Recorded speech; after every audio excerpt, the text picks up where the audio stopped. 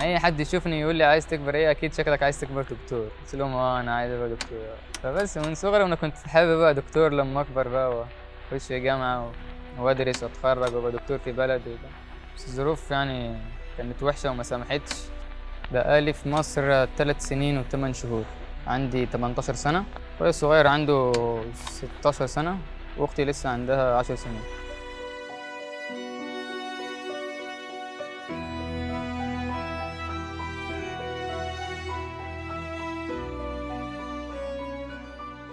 تعيش بلادي ويحيا الوطن بلادي بلادي إن اليوم جاء وقوة النداء وحق الفداء.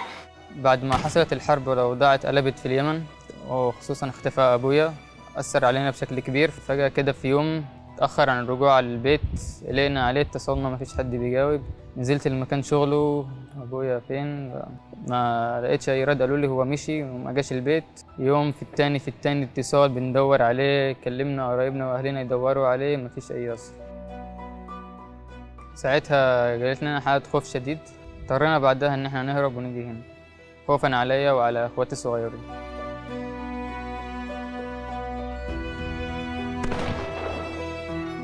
نفسيتنا كانت محبطة جدا خصوصا بعد اللي حصل ده. عشان دلوقتي أمي هي عاملة دور الأم والأب في نفس الوقت. بعد اللي حصل لأبويا عامل نفسي عندها وحش. إحنا جينا هنا ندور على فرصة نعيش كويس زي ما كنا عايشين قبل الحرب.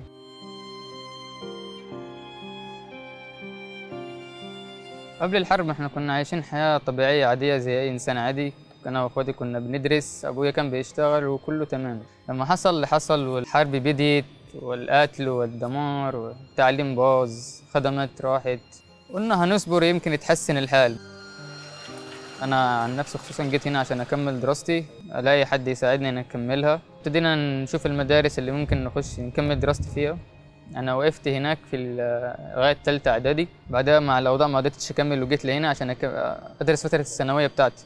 درست أولى ثانوي وتانية ثانوي بس تالتة ثانوي ما قدرتش أدرسها عشان آه، الظروف المادية كانت وحشة عندنا.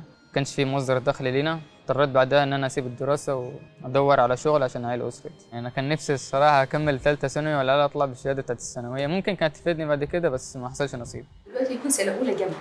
فلما أنا قدمت له في الجامعة يعني طلبوا مني رسوم باهظه يعني عايزين بالسنة الواحدة 8000 دولار. ده كلية الطب السنة الأولى. بعدين السنة الثانية والثالثه والرابعة 6000 دولار. كل سنة 6000 دولار. لما لما أنا سألت لهم ليه يعني كان زمان الطالب اليمني بيجي بيدرس زي الطالب المصري ملوش أي رسوم قالوا لي دي مع الحرب يعني الرسوم فرضت بقالها أربع سنين. في مصر الأكبر عائق عندي هو المصاريف لأنه هو اللي واقف قصاد إن أنا أدرس وأكمل دراستي وأطلع الشهادة.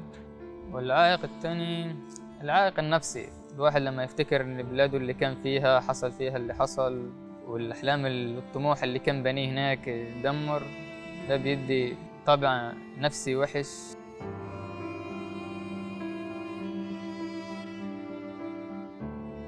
مشكلته مش عكس عكس محمد ما بيقدرش يندمج مع المجتمع المصري لغاية دلوقتي مش قادر يندمج معاه. وكمان عنده مشاكل نفسية شوية كده لما بابا اختفى. أنا مش قادرة أدخله حق مصري فمضطر ادخله يمني بس الرسوم بتاعتنا برضه مرة مرتفعه يعني تخيل الثانية ثانوي مطلوب 12000 جنيه بالسنة. المعيشة هنا مكلفة. إحنا على قد ما نقدر مقتصدين جدا. يعني نقدر نقول نص المعيشة بتاعتنا بنقعد ندم في المساعدات اللي بتجيلنا. يعني بنحاول نشوف مثلا تجار اليمنيين اللي هنا اللي بيقدموا مساعدات. بنحاول قدر الإمكان إن إحنا نسجل أسمائنا عشان يدونا شوية مساعدات وكده نكمل بيها.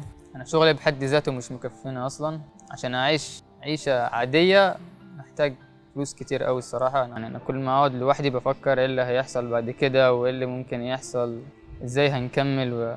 أنا جيت هنا عشان أدرس دلوقتي أنا بدور على شغل. أكمل إزاي؟ العامل النفسي كان متدمر عندنا فده كان حد ذاته عقبة كبيرة عشان نتأقلم مع المجتمع.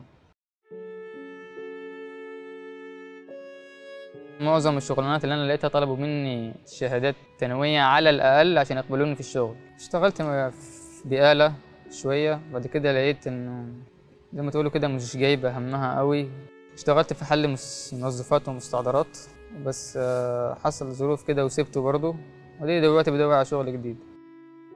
ما اديش لنفسي وقت أعمل فيه حاجات أنا مش عايز أعملها أفكر في حاجات وحشة تحبطني أكتر فتأثر على تاثر على سلوكي أكتر. أنا كنت يعني بتفق مع صاحب الشغل أنا كنت معاه إنه يزود لي في الوقت ويزود لي شوية في المرتب عشان أطلع طاقتي كلها في الشغل وأروح أستريح بعد كده أرجع الشغل على طول. ما أحبش أدي لنفسي فراغ كبير.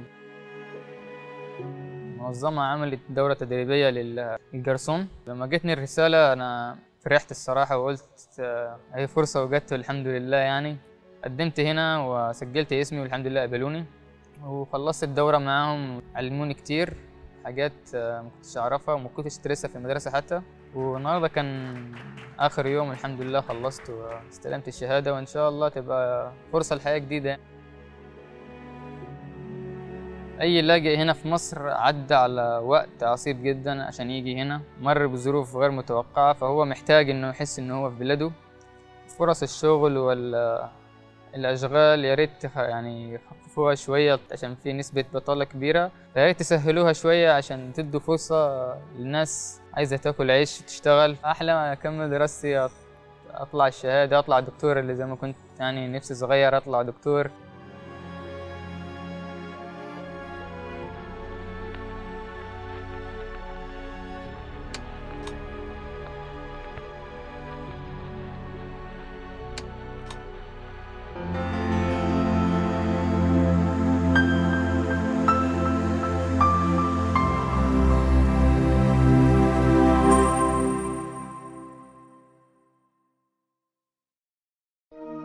لمشاهدة المزيد من الحلقات زوروا سات 7 بلاس.